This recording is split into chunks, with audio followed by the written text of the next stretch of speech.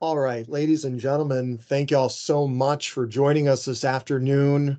Very excited about our Bridge to Brilliance program today. We are coming to you live via the giant UHV satellite hovering over Victoria to transmit this very special program. We have Constance Filley Johnson with us today, our criminal district attorney for the Victoria County.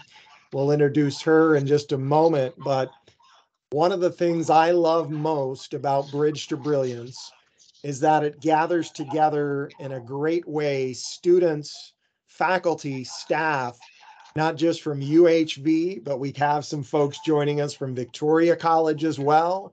And then we've started to see a lot more community members. So I want to especially welcome and thank our community members people like Mr. Robert Crawford and so many other fantastic community members for joining us. This is one of our very, very favorite things to do each month. And we hope as we get into next fall, you'll continue to join us for these Bridge to Brilliance programs. For those of you who don't know me, my name is Woodrow Wilson Wagner, and I serve as the Director of Institution Programs here at the University of Houston, Victoria. I also have the pleasure from time to time as being a lecturer of political science and communications. So I welcome former students, current students. We have a number of political science and criminal justice students who are joining us. We have a number of faculty members in criminal justice and political science who are joining us. There will be some people, Ms. Johnson, who will use this later, this recording in their class and it creates such fantastic assignments and discussions. So we're so very pleased that you're able to join us today. So for everybody online, just a few ground rules. If you can please mute your microphone, you can certainly keep your camera on and you'll have the opportunity to ask those questions later. But if you can please mute that microphone and certainly you can keep your camera on if you would like. You can certainly type things in the chat if you have questions, and we'll certainly get to those in a bit. And then at the end, if you'd like to ask your own question and turn on that camera, you can do that. But without further ado, I'd like to introduce the host for today's Bridge to Brilliance.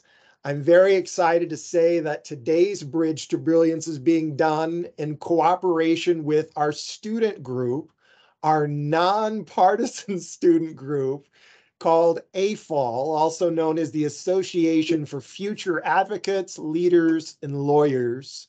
And the vice president of that organization has graciously agreed to be our host today.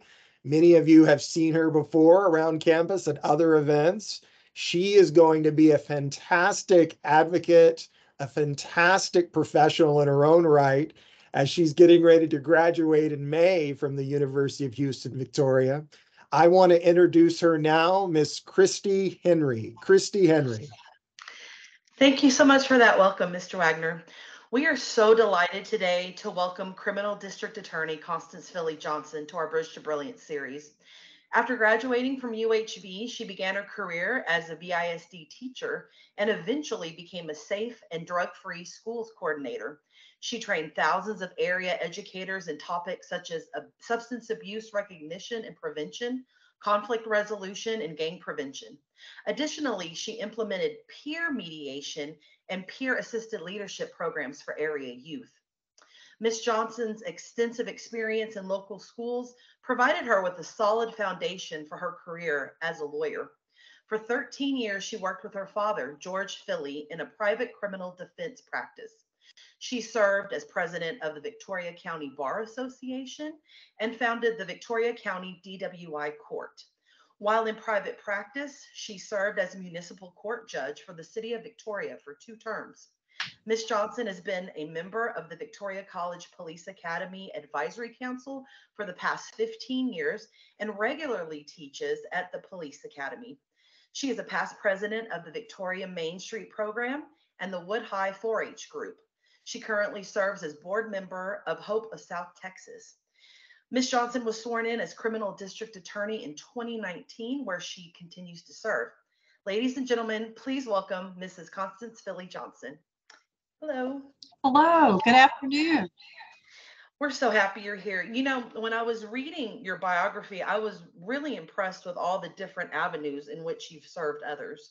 But, you know, focusing on your current career, I was curious about what inspired you to pursue this career as a district attorney and what qualities you feel make a successful one. Well, um, so my dad was the criminal district attorney here in Victoria County throughout my childhood. I was a fifth grader when he was elected, and he served until I was 27 years old. So I, I kind of grew up in the office from the, uh, you know, the outside looking in, and certainly was always very proud of the work that he did. And uh, you know, I took sort of a circuitous route back to this role, having been a, a teacher and an educator in different avenues before, certainly coming back to this. Uh, but I, I think it just takes a person willing to do the job in the right way. Uh, you know, some of the things that I, I, think that we'll be talking about over our time together are, are real important in the way that I, you know, administer the role that I'm in. And, and so looking forward to sharing some of those things with you. Yeah. What is your proudest achievement as a prosecutor? Well, I'm very proud of the team that we have assembled since I've come into office in 2019. We have uh, nine uh, assistant district attorneys. Many of them, actually all except for one, were born and raised in the area. So we have a, a hometown group of people that are very invested in our community, that take the job that they do very seriously. And uh, they have really had some tremendous accomplishments, both in the courtroom, in jury trials, but also in disposing of, of a thousands of cases actually. I think the last time we looked at the numbers, our team uh, in the first term had had worked through about 10,000 cases with felony and misdemeanors, and so personally, my, my, proudest accomplishment for a case that I handled um, myself in, in the courtroom was last summer. I had a two week jury trial and prosecuted a person who had worked in one of our local schools and had abused a number of uh, the students under his care for a number of years. And so I had 11 very brave uh, victims of that crime come forward and testify in, in a courtroom about some terrible things that had happened to them. And that gentleman was found guilty and sentenced to more than 50 years in prison. And I think that was the appropriate outcome. And I'm very proud of that outcome. Yes, for sure. You know, um, Mr. Wagner mentioned that um, AFOL is a nonpartisan student organization. You know, and so we we really try to emphasize the importance of representing all viewpoints. Absolutely. And you know, as a Republican office holder, how do you represent represent those who don't share your political views? And could you talk a little bit about um, how you've transcended that partisanship to collaborate others who aren't Republican? Sure. Uh, certainly, it's no secret that I ran on the Republican ticket, and many of my personal ideals align with the Republican platform. But the right thing to do in any job, certainly in, in a public service job, has nothing to do with what party you belong to. And so the right thing is the right thing, uh, no matter whether it's a Republican ideal or a Democratic ideal or, or whatever. Uh, and so actually, I thrive in situations where I get to visit with people that may not necessarily share my political viewpoints. I think uh, on many many occasions, I collaborate with other individuals and agencies in the community uh, just to accomplish the, the goals of upholding the law here in Victoria County for all citizens, regardless of political affiliation. I think we, we continue to grow when we embrace viewpoints that are different from our own, and that's that's a really important thing for all of us. Yes, for sure. You know, um, as a, a, criminal district attorney, uh, you know, you, you focus on the the crime aspect and, and things but what you know all of us here want to do our part to make our community a safer place. So i was curious what you thought the best way that we as college students can prevent crime in our community. And how do you work with this community in victoria to build trust in the criminal justice system Okay, that's a great question. The first piece of that is how can you help us um, combat crime in the community as college students? Uh, anytime I visit with a, a, community organization, I encourage everyone in the room to please, please, please, please lock your car. um, though, though some of you, I don't know, you know, the audience members, but many people in Texas, certainly in Victoria, uh, have uh, handguns, and they are lawfully owned. Many of us keep those in our vehicles from time to time, and it has been our observation in the law enforcement community that many of the uh, illicit guns on the street in the hands of the wrong people got there in the first place by being burglarized out of a vehicle. So I, I that's a you know some people are very aware of that. Some people that comes as a surprise too. So please, please, please lock your vehicles. Uh, if you do, of course, have a, a handgun, be a responsible handgun owner. Bring it inside uh, secure it properly. And so that's a big thing, not putting uh, guns into the wrong hands. That's a, that's a big one. Uh, second to that would be be aware always be aware of your surroundings you know be be safe. Don't allow yourself passively to become a victim. And sometimes uh, and, and, i'm guilty of it myself. We get so engrossed on our cell phones when we're walking down sidewalks or we're in public places that sometimes we're not necessarily paying attention to what's going on around us. So just be aware. Uh, you know passive people people that aren't paying attention are, are very often um, easier to victimize than people that are alert and that are looking around and paying attention to their surroundings. Uh, but yeah just talking to one another. If you see something say something, speak up, and, and be very often we get some great tips toward the cases we're working on by concerned citizens that call in uh, to 911. They're you know following someone that they saw commit a crime or they know something and they've you know chosen to, to step forward and, and talk about that. And so that's very helpful to us in the law enforcement community.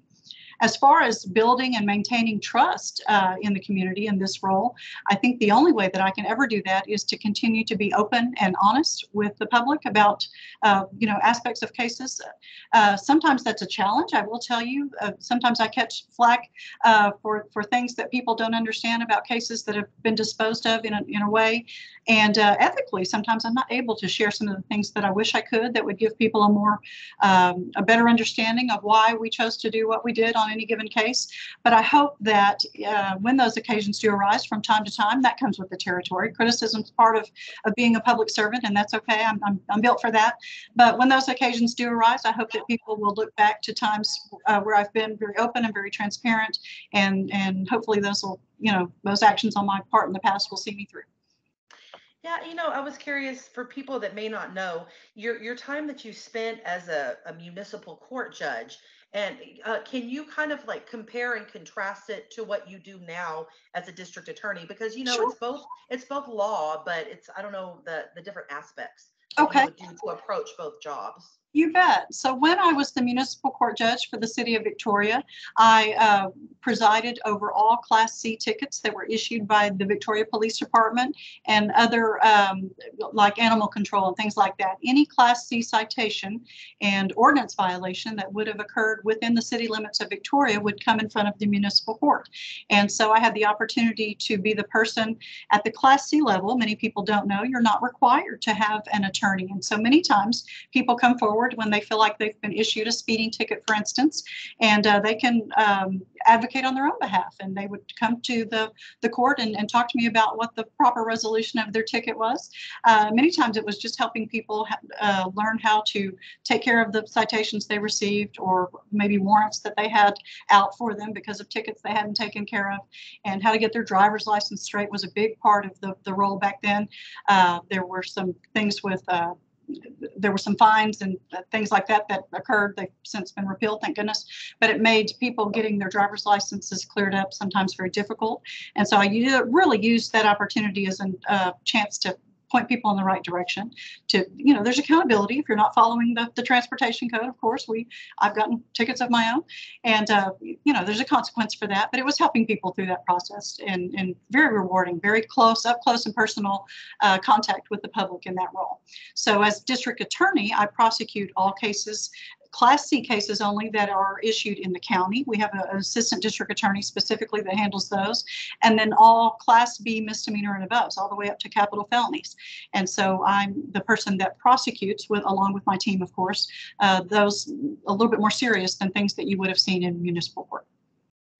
So what do you feel uh, that would be like is the biggest challenge as the district attorney? I mean, I'm sure that you've seen everything, all kinds of breaking the law, but I mean, how how does that impact you as a person when you see these like kind of like egregious crimes being committed?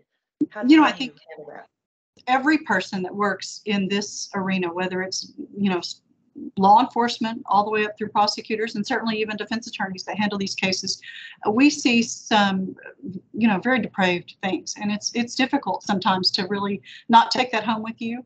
Uh, we have to be mindful of that. There's a lot of self care, and and you know, to keep ourselves healthy mentally. We see some terrible, terrible things, and and um, you know, it's unfortunate that that humans can be so awful to one another and do some awful things. But we also see the very best of people rising uh, from very terrible circumstances and being survivors of some of those things. And so it's it's very rewarding at the same time. But uh, no it is it's certainly a challenge. And i and i i'm a, a secondary you know trauma if, if you will. I'm not the first responder. So i really feel for rank and file level law enforcement that are that are dealing with some of the worst things i've ever seen you know on the on the front end. That's a must be a very difficult thing to do so what what would be one of the biggest or biggest challenges facing the criminal justice system today? You know, we we hear a lot about that in the news, but locally, what are what do you think, you know, some of the challenges that that we're facing? Sure. You know, I think today, post pandemic, there are many um, types of careers where we saw a mass exodus of people. It seems as if some of the careers that had the most uh, public contact and some of the challenges for getting through those things during COVID. We've seen, you know, teachers and nurses and uh, law enforcement, of course. There are many people that just retired or chose not to come back to the workplace after some of the really challenging things that people went through during COVID. So, with that, we are seeing an all time high number of openings in the prosecution ranks across the state. Uh, our association, which is the Texas uh, District and County Attorneys Association, has more openings than they've ever had. And so, it's, it's getting and retaining qualified people to, to do a very difficult but rewarding job. I've been very fortunate locally. I mentioned that a little bit earlier. I have worked very hard to recruit people with hometown ties, and so we've not experienced some of some of the same things that other offices have. But we we have an opening right now that's been open for several months, and so that is a, a challenge across the, the board, whether it be law enforcement, corrections, or certainly prosecution. You know, one of the things that I thought was really awesome was that you founded the DWI court. And so I kind of was curious about, you know, not not necessarily just with DWI, but in general, what do you think is the most effective way to rehabilitate offenders to ensure that they don't reoffend? Okay. Um, so I was one of several people. I can't take all the credit for founding DWI Court, but I was on the ground level of that as a defense attorney at the time. And uh, the it was the brainchild of Judge Laura Weiser. She and Judge Juan Velasquez at the time were the county court at law judges. That's been about 15 years ago. And uh, she saw a model at a conference and thought that would be a really good fit for Victoria County and asked me to be on the ground level of that. And I was delighted.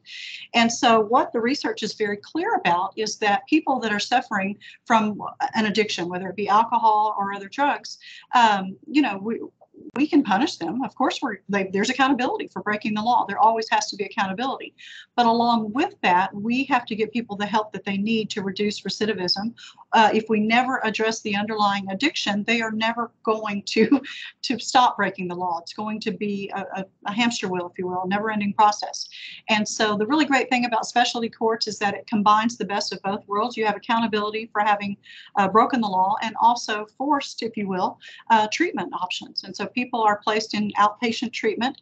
And so while going through and, and you know making amends to society for having been convicted of either DWI or drug possession, we also now have a, a care court at the felony level for people that have drug addiction. It's very similar to the DWI court, but it combines uh, treatment with accountability to hopefully break that cycle. And uh, there have been some really fantastic strides in reducing recidivism for people that have gone through those types of programs. Uh, we UHV did a fantastic study of our own DWI court about two years ago, and our numbers uh, even impressed us. we were very proud of them because our recidivism rates were very low uh, for the people that had successfully completed the program as compared to people who didn't. So it's it's just you know really being smart about attacking an issue that affects so many people people, unfortunately. I was curious um, along that same line. You know, we we've had a, a, judge from Hays County come and speak to AFOL, and she's a member of the mental health court. Yes. And so, is that something that we're going to get in this community, maybe in the future, or has been discussed? So it has been discussed. We're certainly not opposed to that. We have limited resources, and so the same people that serve on the care court are the same people that serve in the DWI court, and it's, and it's many of my employees and employees from probation and things like that.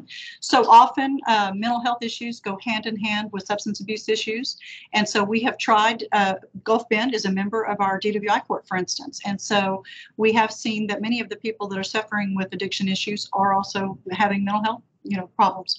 And uh, so we're in, in our own way sort of addressing both of those issues dual diagnosis through some of those programs. Uh, right now we don't have a, enough of a population for a standalone mental health court nor the, the resources really to get one off the ground but it's not something that that i would rule out in the future. It's a, it's a very good program as well. Wow, that's awesome. Yeah, I think it's so important because you you have to also address the whole the whole person, and I think that's a great way to do that. holistic, holistic approach. It's Yeah, It really is. Yeah, Mr. Wagner, I, I noticed that there were some uh, questions in the chat. I didn't know if you wanted to go ahead and follow up with those.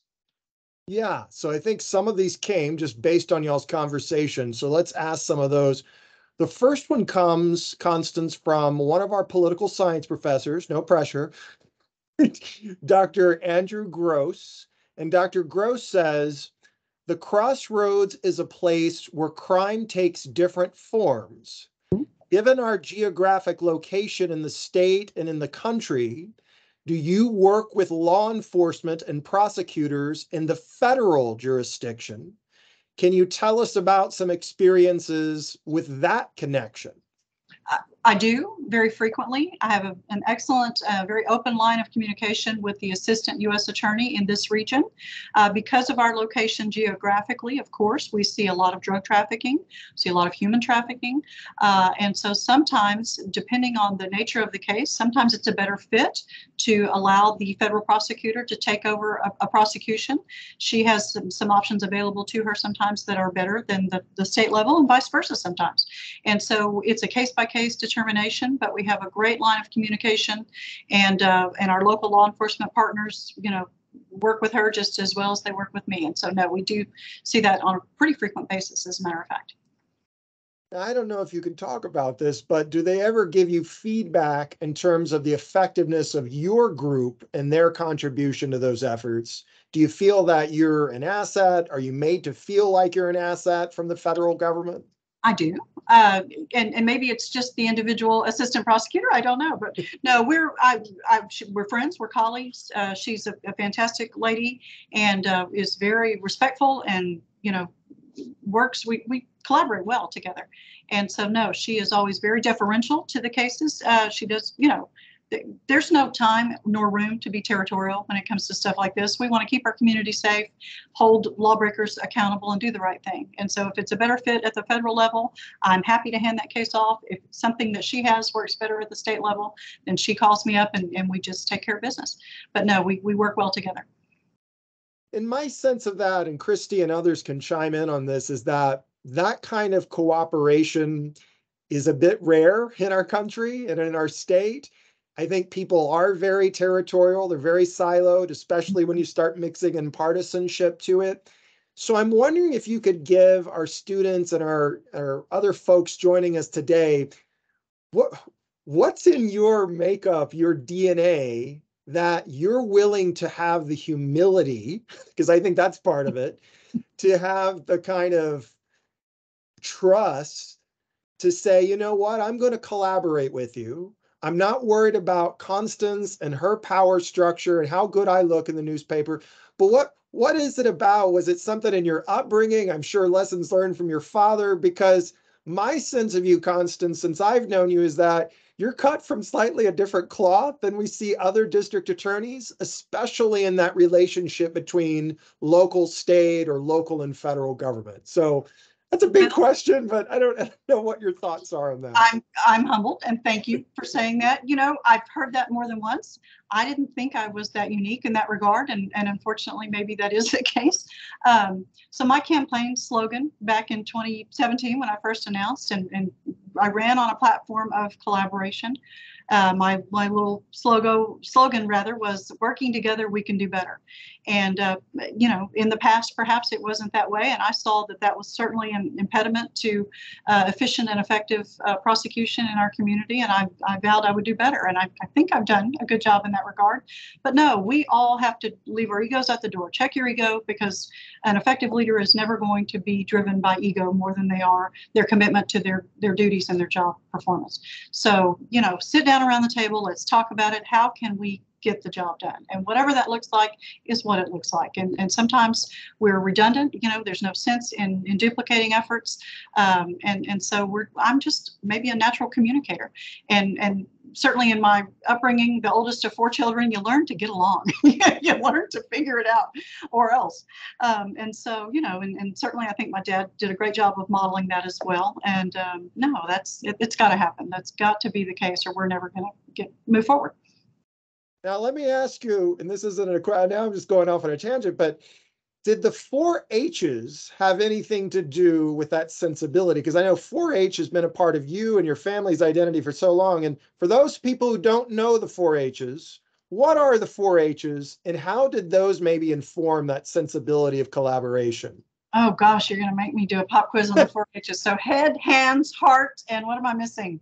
Um, Health, health, don't forget Health. health. health, of course. Um, no, that that is it's just good old fashioned work ethic. It's it's learning to be a, a steward of, of you know our resources. Certainly, kids that raise livestock and have chores and responsibilities and obligations are are, are good hardworking kids. And so I was raised in a in a family and in a home like that. And then certainly that was a very important part of my children's upbringing when they were young. Uh, and now I've got a grandson, and and we're already talking about how we're going to remodel the pig pens for him so that he can do the same. But but you know, it, it's chipping in, working together to get a job done, and and just being a responsible, productive member of society. Really, it raises great young people that, that many have become future leaders, and I, I suspect maybe you were as well by having asked the question. Yeah. It's a Well, fantastic. your family and mine, we did. We crossed paths in the livestock show circuit. I think your sister especially. Sure. always seem to beat us. There's the Filleys always have something special, but uh, it was something that now you do look back, Constance, and you think these things did contribute to the human being I am.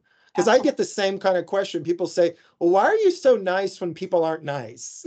right? Why do you seem to like turn the other cheek? And part of that, I guess, is a religious or spiritual thing, but part of it is just basic how you treat humans kind of Yeah. thing. All right. Um, let's go to another question from one of our community leaders, C- CEO, Mr. Hunter Follett, who's been a big champion of Bridge to Brilliance. Yes. Thank you for taking the time today. You're a real life superhero in my book, says Hunter. Oh, Excellent. Now you Oh, have to get a costume, Constance. You have to Hunter, get some kind of superhero costume. Coming from um, Hunter, that's quite the compliment. Thank you so much. So Hunter asks, can you speak to some of the work we are doing locally in terms of criminal justice reform? For instance, in what ways are we using some of the concepts of restorative justice? Great question. Okay. Well, um, so I have two victim assistance coordinators on staff, one at the felony level, one at the misdemeanor level. And a very important part of, of many of the cases that we handle is inviting the, the victim of those crimes into our office for a sit down meeting to just talk about the aspects of the case, where it might go in the criminal justice system, how that might look, whether they're going to testify, whether that's going to be necessary, and how can we make them whole. And sometimes, and, and one of the most difficult things to to share with people that don't work in this realm is that what we know and what we can prove are two different things. And so very often a case will come to our office that has all of the boxes checked, but we're missing an important gap uh, from an evidentiary standpoint. And there's not a thing we can do to overcome that. And so what we, our goal sometimes, if it's not going to ultimately be a successful prosecution that's going to culminate in a, in a criminal conviction, is to get the person the resources and the help that they need to put them to put the matter behind them. And so all day, every day, we want to do right by people, and that does not occur by by conviction statistics or notches in my belt or anything like that. We want to make people whole when we can. And so, uh, whether it's from a restitution standpoint, whether it's from a mental health and a counseling standpoint for the victims of those crimes, whatever that might look like, we do our level best to try to make people whole. And so, uh, Hunter and I have sat down on, on an occasion. He came to my office, as a matter of fact, and I am so proud of the work that he is willing to do to help people that were formerly incarcerated find find their way in the workplace. He has been a champion uh, of that locally, and I think that's on the back end another part of restorative justice. Because if we don't give people the tools and the opportunities that they need to come out and live a productive, law-abiding lifestyle once they've paid their debt to society, then we are setting them up for failure, and they'll be right back where they started from. And we'll be seeing them again in my office. And and quite frankly, I don't want that to happen. I want them to be successful and go forward. And so Hunter has really set the set a fantastic fantastic example of employing people that have come out of, of, of prison and, and, jail and uh, given them opportunities to live a law abiding and very productive lifestyle. I think that's a real important part of it. And uh, I hope more people follow his lead. And it sounds logical. It sounds moral. It sounds like what we ought to do. And we all nod our heads. But what are some of the realistic barriers, some of the roadblocks? And Hunter, feel free to chime in as well that you all face in that effort. Well, certainly perception is a challenge, and I'm sure Hunter can speak better to that than I can. Uh, and sometimes, unfortunately, there are people that have committed crimes that are so egregious in people's minds that maybe coworkers wouldn't necessarily feel comfortable working alongside them or maybe there are certainly industries where people come into people's homes and you know you might have a customer that says oh no no no no you're not going to bring that guy into my house. I, I get that. And so employers have to be mindful of that and um, there's a balancing act to, to be had. But um, a large proportion of the people that come and go in the criminal justice system and that are incarcerated are people with uh, substance abuse issues. And and so, if given the proper um, rehabilitative uh, opportunities, once they're clean, they're fantastic people. But but they've done some things and made some terrible mistakes in the throes of that addiction. And and so, really, that we I'd say three quarters of the cases that we handle have some aspect related to substance abuse. All right, yeah, Dr. Uh, Gross and Hunter. Yeah, Hunter, go ahead, yeah. sir.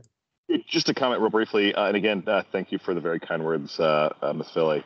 Likewise. Um, just to just to uh, just to, to briefly, so I, one of the things in, in, thinking about our audience as well uh, that I really respect uh, about you, um, uh, counselor, is is uh, your commitment to not just a punitive justice system, a system that you know, a, as you point out, sort of thinks about substance abuse, and and I think that's one of the reasons that you know we've had some of the uh, low recidivism recidivism rates that we that, that you, you mentioned earlier.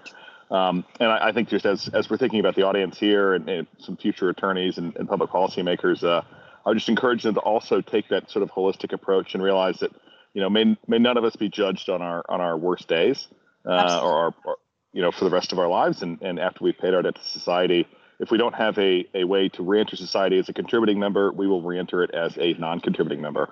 Absolutely. Um, so anyway, uh, thanks uh, thanks again for the time today.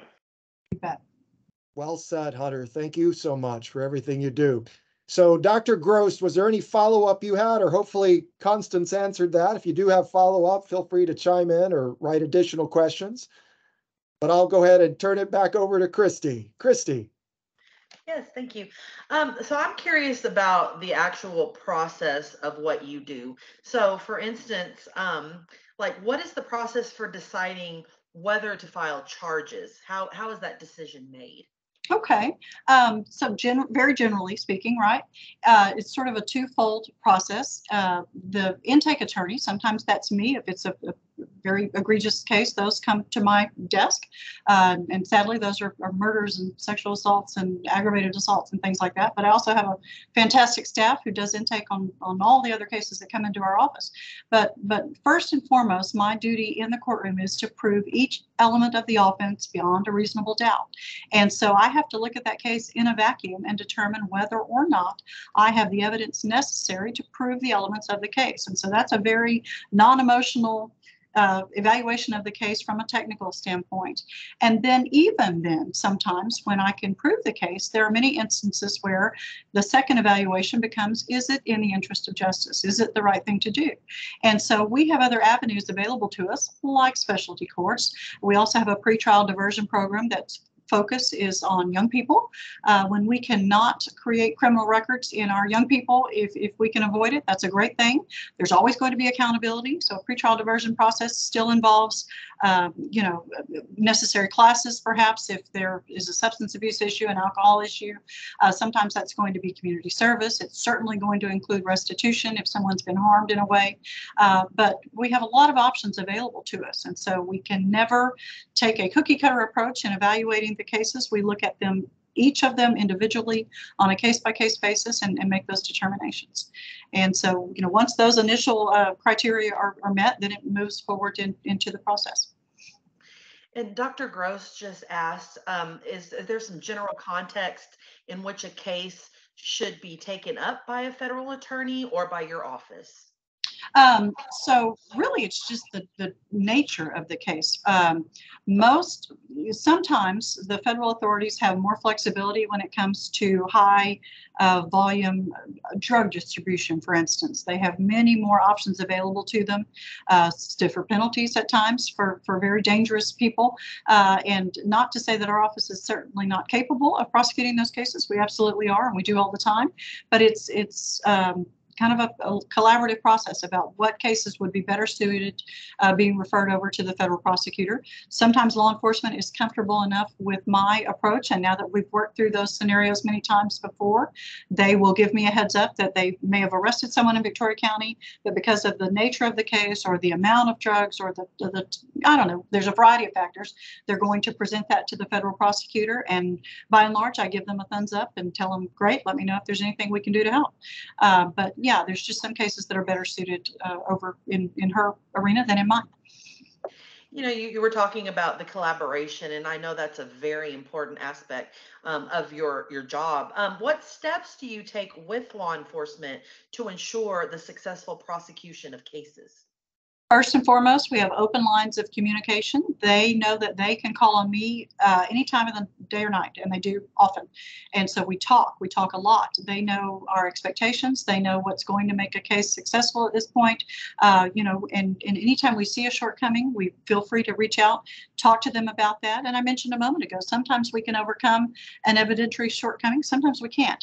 Uh, but they are, I think, very comfortable talking to myself and the assistant prosecutors in our office, and, and they're very very committed to bringing us strong, viable cases. And so we, we communicate well. We're all working together uh, to, you know, ultimately to, to achieve the same result and the just outcome.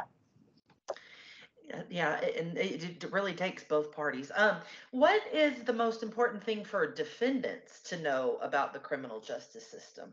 Okay. Well, certainly defendants need to understand their rights. We all have constitutional rights that we are able to avail ourselves of. And so I think local law enforcement does a good job of not trampling on those rights. And they certainly know that I would never tolerate that.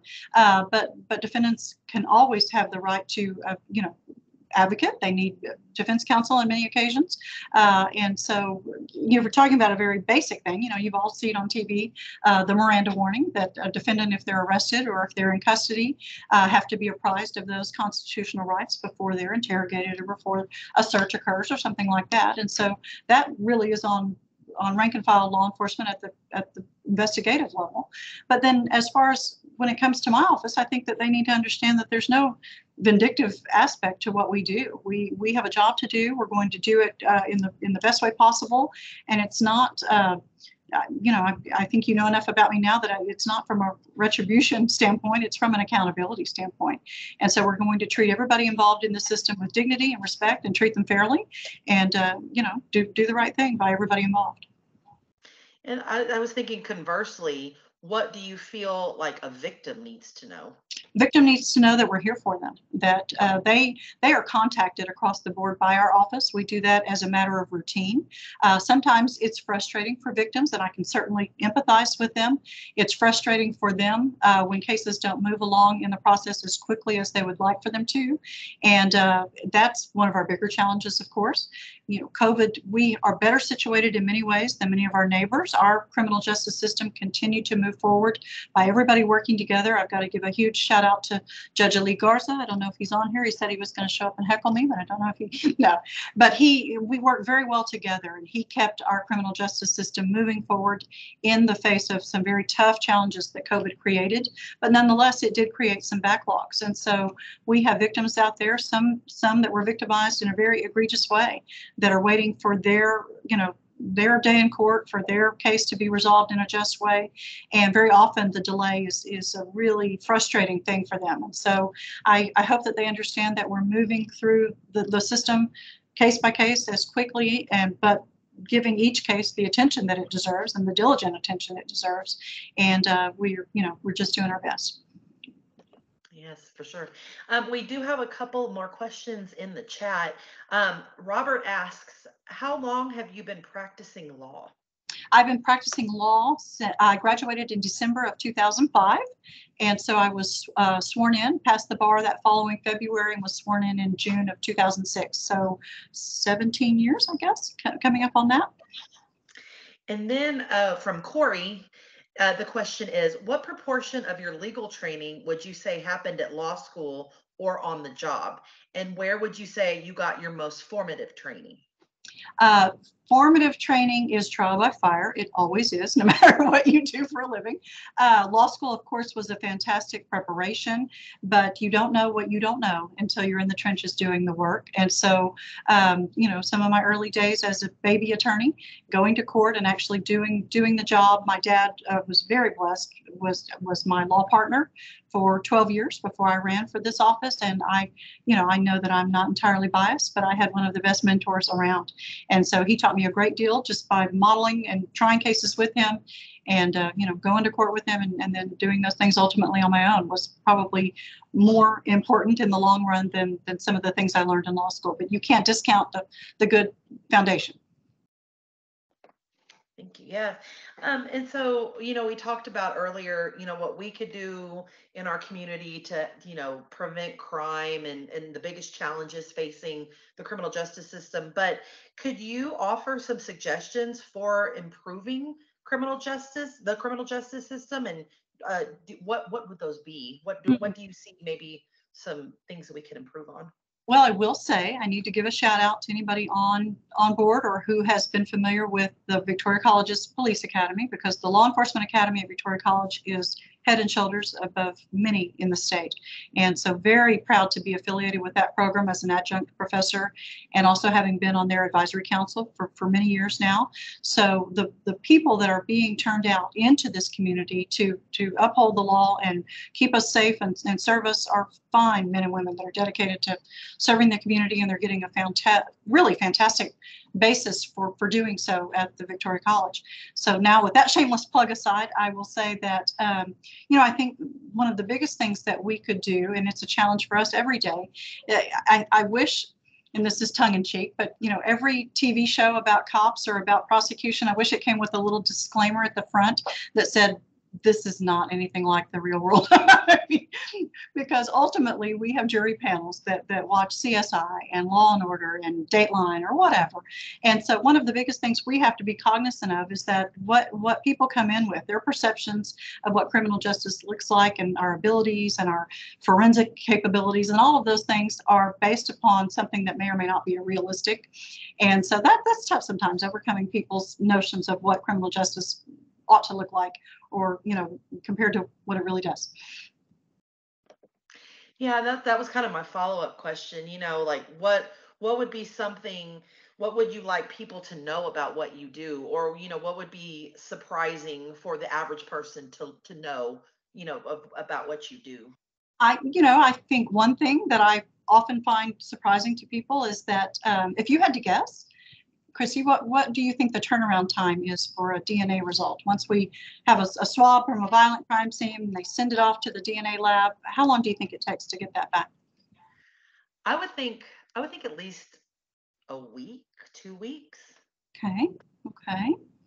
So the answer is several months. Oh wow. Yeah, and that's even an improvement. When I first began practicing, uh, DNA results sometimes took well over a year to get back, and so that presents some some delays that are outside of my you know circle of control. And so people, especially people that are victims of violent crime, want those cases to move, and I don't blame them. But I'm at the mercy of getting all of the evidence back from the labs sometimes that I need to prosecute successfully. Sometimes uh, forensic evidence bounces around to different labs within the state. Uh, one one lab may take care of, of GSR for gunshot residue, and then that same piece of evidence has to be mailed to another lab for DNA analysis. And so it might take six months at this lab and another nine months at this lab. And you can imagine, you know, you multiply that by several hundreds of thousands, probably millions of cases in the state. It's tough. And so the state uh, has done a better job over the years of, of putting more money into our crime lab system, but it's overwhelmed and it's and it's much slower than we wish it was. How many how many um entities do you say co- co- collaborate on just one case? Because you were mentioning it has to go here and there and things like that. Sure. So um, the last murder case I tried, I had um, a DNA expert, I had a ballistics expert, I had the medical examiner. Um, I had, um, you know, obviously all of the peace officers that were involved in that. I had civilian witnesses. And so it, it's not uncommon on a high profile case like that to have several dozen witnesses and, and probably, you know, half a dozen different agencies working together to, and so coordinating schedules and all of those things, it's, it's a, quite, quite the orchestration. That's for sure. Mr. Wagner, did you have something you wanted to add? Yeah, I just wanted to follow up on that, Constance, because I think you hit a really, really good point about how most people are conditioned by the media, especially the entertainment media, television shows, to think that these processes happen very, very quickly. Correct. And within an hour's time of law and order, everything's solved, right? But I, I want to just kind of go back to that example of sending the stuff off. Is the amount of time that that takes is that due to the bureaucracy of it all, or is it just the science of it all requires time? So some of that is the science requires some time, but it really is a is a funding issue. It's a resource issue. Uh, so the crime lab, the one that we use most frequently, is located in Corpus Christi. I think there's more than a dozen in the state. I don't remember offhand, but it seems like there's about a dozen different crime labs throughout the state. And um, you know, there's probably I'd say we took a tour, so I know this firsthand. I'd, I'd say a handful of chemists that perform uh, analysis on, on drugs, for instance. There's another two that do uh, analysis on DNA.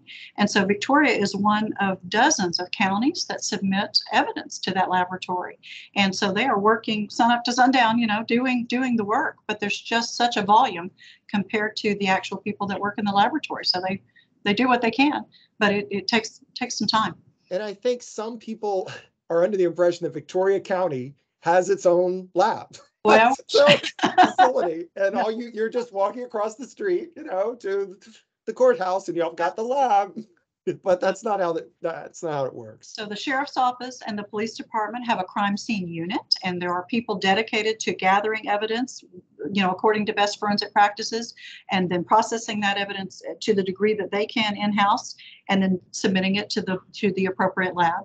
And uh, you know, if again, it's it's lots, thousands of, of agencies that submit things to be analyzed uh, by by a pretty small number of people, and it's just a resource challenge. But yes, right. most jurors are very surprised to find that find that out. Right.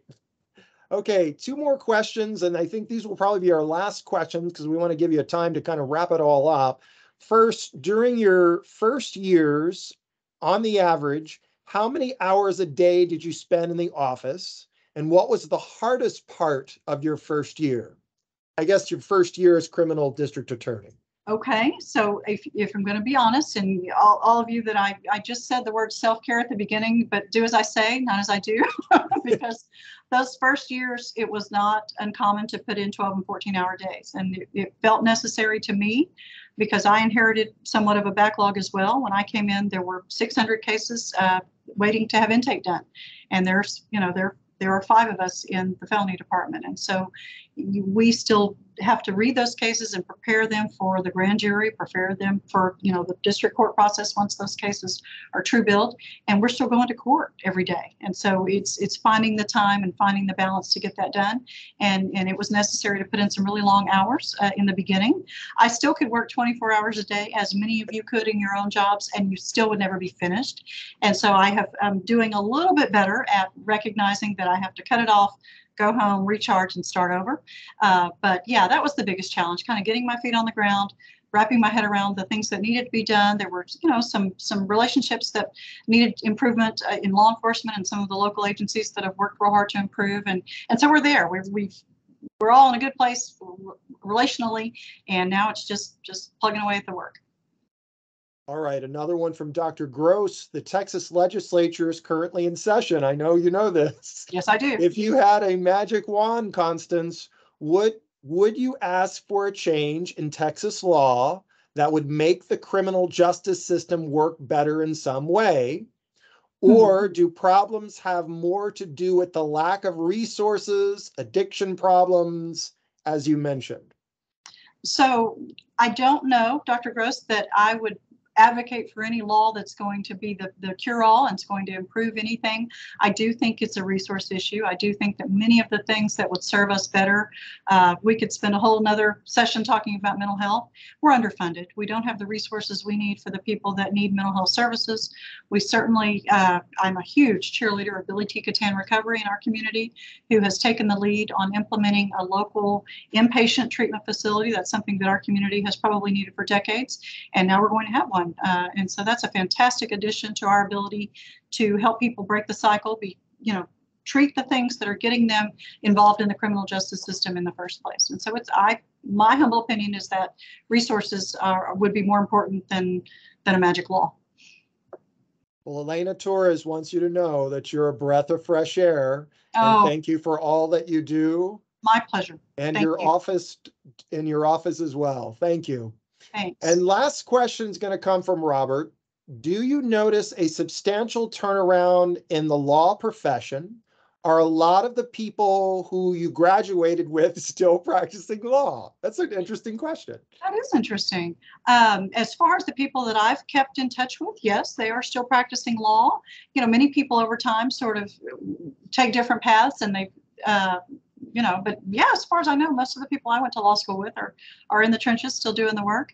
Um, so yeah, that's that's me. But I, I definitely see some burnout across the board, not just in the legal profession. And and it's you know it's COVID shook us up. And we say it all the time uh, in house and certainly to our grand jury members and things like that. People are are still recovering. We the illness we may have gotten a handle on that piece of it, but uh, the the impact that it had on on people's mental health, certainly our our young people in, in particular, uh, we're still reeling from that, and we're going to be reeling from that for some time. And so that's that's certainly something we're cognizant of and and continuing to to combat. All right, in just a moment, I'm going to turn it back to Christy. But before we do, Constance, we have a very special feature on Bridge to Brilliance. It's called This Is Your Life, Constance Filley Johnson. And you've already seen some of the photos, but I just want you to comment on, on, on some of these photos because they reinforce some of the points that you've already made and how important some of these things are to you in your life and in your decision making. There, of course, you are with a lovely plant. And what are we looking at here, Constance? Uh, that that second, well, I that was a Boss's Day nomination, and I was Oh. very honored by my staff to have won a drawing. So that was really sweet. Who is this photo of or this portrait? Oh, that's that's just a portrait. It's a, a pioneer Texas woman, and I kind of relate to her from time to time. Well, Uh, yeah. definitely. In a f- few photos, we're going to see how oftentimes you might be the only woman in the room. So you are a Oh, pioneer of sorts. Have very we had district attorneys in Victoria County who were women before? no, we have not. I am the first female. You are the first. Yes, I am. Okay. What are we looking at here? So we sponsored uh, a canine officer. This is the second uh, canine officer that we have helped the Victoria Police Department obtain. And so really proud to give local law enforcement the resources they need to do the job that they do for us, keeping us all safe and uh, doing the work. I was, What's happening here, Constance? Well, despite the face I'm making, that was a really great event. I was welcoming the uh, alumna to the uh, School of Education after graduation at UHV last last May And when did you graduate from UHV? in uh, 1993. So this is Oh, my wow. 30th year after graduation. Excellent. And then I know this is a proud moment. And who are these humans in this photo? That's my mom and dad. That's at this year's uh, swearing-in ceremony on January 1st after uh, taking beginning my second term in office. So my dad. Is it true that your dad swore you in? That's him. That's what he's doing. It sure is true. Wow. Now, your dad was district attorney in what years? Uh, he was elected in 1983. Uh, I was a fifth grader. He had been in the office as an assistant for some years before that, and he left office in 1998. So he was in here for quite some time. And then is this your sister on the That end? is my, my middle sister, yes, and my mom and dad again. That's at that same ceremony. So family's a big thing for you. And I know that just because I kind of know you, but this was one of my favorites, the multiple generations, right? You Right. and your mom at the GOP convention. And I say, I think this is your daughter, correct? It is. It is. It's my daughter on her lunch break uh, voting in one of the elections last year. That is Now, her. will, will your children be going into the law as well? Probably not. And the two generations is enough. Okay. Yeah. We're gonna break No, they, they have some different interests. Obviously, I'd be very proud if they chose that path one of these days. And that's the other thing. If we've got students on board, it's never too late to pursue a, a career, pursue a dream. I was in my 30s when I went back to law school.